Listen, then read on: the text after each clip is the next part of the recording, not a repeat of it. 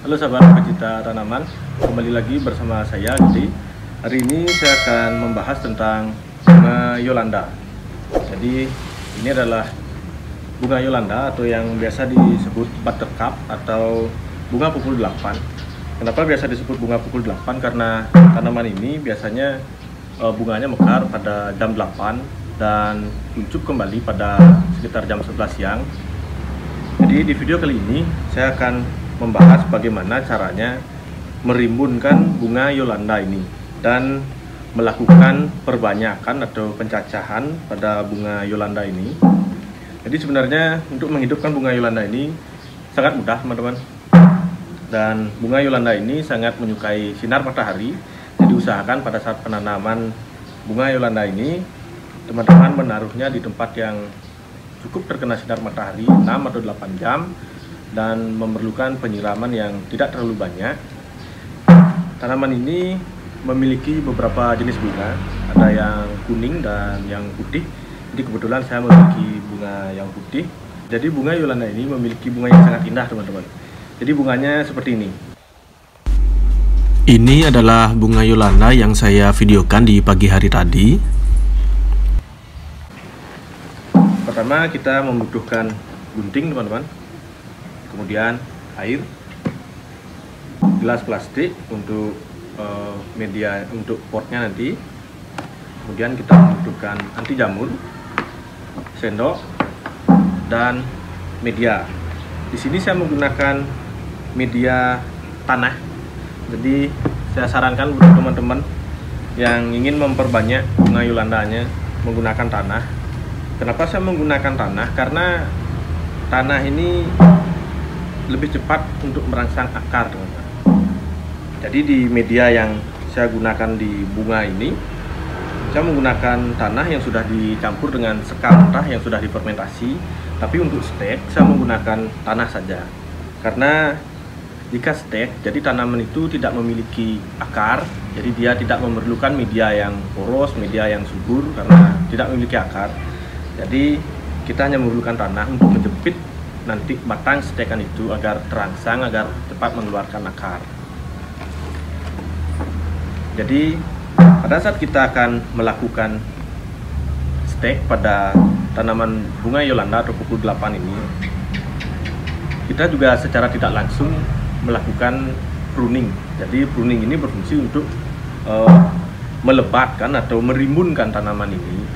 Jadi kita akan memotong semua tangkai yang ada. Karena kita akan sekali jalan jadi kita akan memperbanyak dan membruding agar lebih lebat lagi dari yang sebelumnya. Kita akan memilih cabang yang memiliki tunas baru.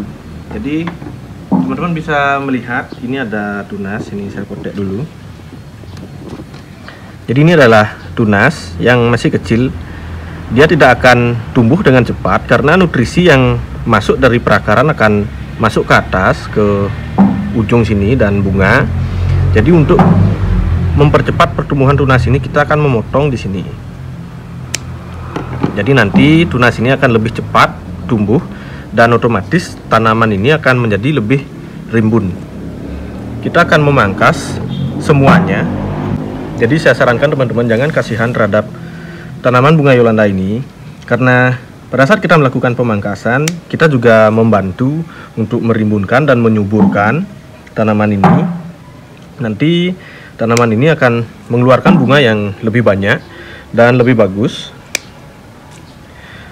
Tanaman bunga Yolanda ini menyukai sangat menyukai sinar matahari. Jadi untuk penempatan tanaman ini saya sarankan di tempat yang terbuka yang mendapatkan sinar matahari penuh. Dan untuk penyiraman teman-teman bisa menyiramnya sesekali karena tanaman ini tidak terlalu menyukai air. Jangan kasihan melihat tanaman bunga ini gundul teman-teman. Karena ini hanya gundulnya sebentar saja. Nanti dia akan tumbuh lebih bagus lebih subur.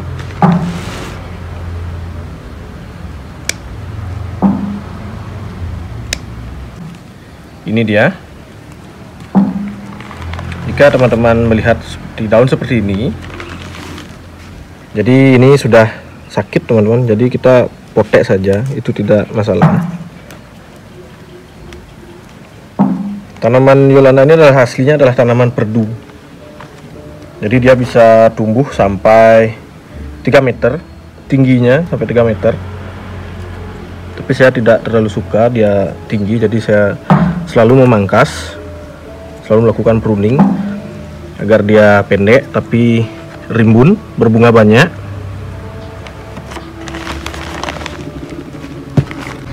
Kita akan mempruning yang satunya. Mohon maaf teman-teman ada suara gamelan. Karena kebetulan di dekat rumah saya ada upacara agama. Jika ada gulma seperti ini saya sarankan untuk mencabut dan membuangnya. Karena itu sangat mengganggu pertumbuhan tanaman kita. Kemudian untuk melakukan stay ini ini saya mendapatkan batang stay kan banyak sekali. Jadi saya akan mempraktekkan hanya beberapa. Nanti akan saya lanjutkan setelah video ini. Jadi ini seperti ini teman-teman. Kita bisa potong di sini. Ini saya potong setelah terpotong seperti ini kita perlu uh, menghilangkan beberapa daun di bagian bawah. Kita potek saja. Jangan khawatir ini pasti akan hidup teman-teman. Kemudian kita hilangkan beberapa daun agar lebih sedikit mengalami penguapan. Saya akan praktekkan uh, empat di sini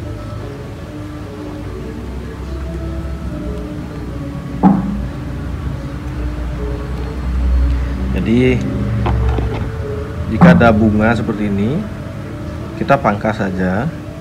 Karena ini akan e, memakan banyak nutrisi untuk steak kan jadi kita potong. Setelah melakukan stay ini saya sarankan teman-teman untuk e, menyimpannya pada tempat yang cukup terkena sinar matahari. Tapi jangan matahari langsung usahakan yang ada naungannya seperti paranet atau tanaman lain yang lebih besar lebih rindang. Saya sarankan untuk menaruh di bawah sana karena sebelumnya saya juga pernah mencoba. Saya taruh di tempat yang sama sekali tidak terkena sinar matahari tapi dia gagal tumbuh. Tetapi setelah saya mencoba menaruhnya di tempat yang cukup terkena sinar matahari dengan naungan mereka semua tumbuh tumbuh akar. Jadi ini juga uh, sebelumnya dari satu tanaman yang kecilnya hanya segini teman-teman. Dan sekarang sudah banyak. Ini juga ada di, di belakang sana ada.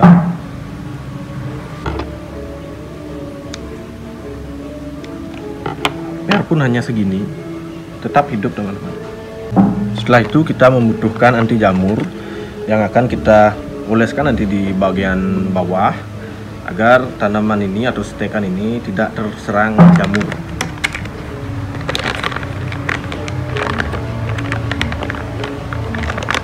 Jadi sebelumnya kita akan membuat pasta.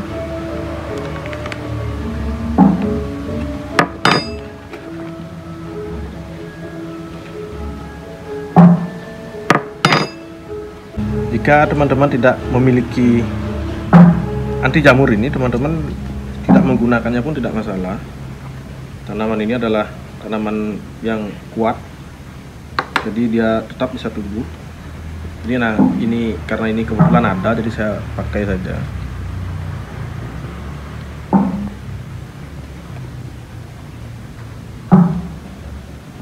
Kita hanya perlu mengoleskan seperti ini. Ini berfungsi agar bakteri atau jamur tidak masuk ke dalam sel-sel tanamannya ini. Sekarang kita akan menunggu uh, lapisannya agar kering. Jadi untuk yang ini yang sudah kita potong ini dia akan menumbuhkan batang yang baru yang lebih banyak lebih ribun. Setelah lapisan ini kering kemudian kita akan menyiapkan wadah dan media. Ini adalah media tanah.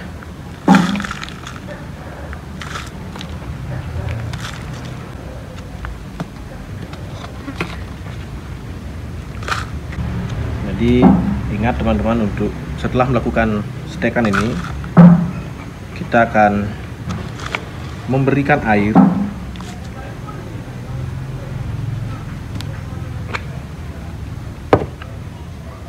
Kemudian cukup kita tancapkan saja. Seperti itu. Kemudian kita tekan-tekan agar batang batang dari stekan ini terjepit oleh media. Agar akarnya cepat terangsang.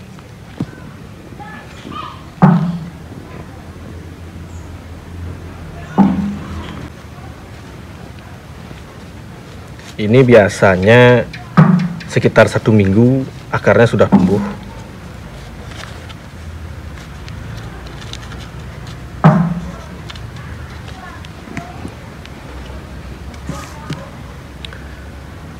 nah untuk pemasangan lebih banyak seperti ini itu bisa. Nah misalkan seperti ini kita tancapkan langsung. Kita buat dulu lubang kita masukkan kemudian kita tekan-tekan.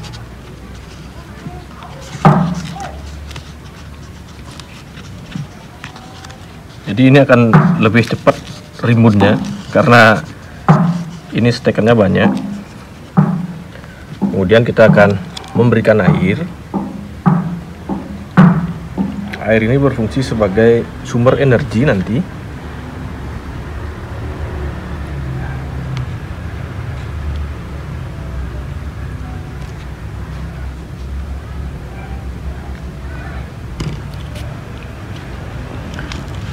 Jika sudah selesai seperti ini teman-teman satu rahasia yang pernah saya alami. Jadi jangan simpan di tempat yang tidak memiliki sinar matahari.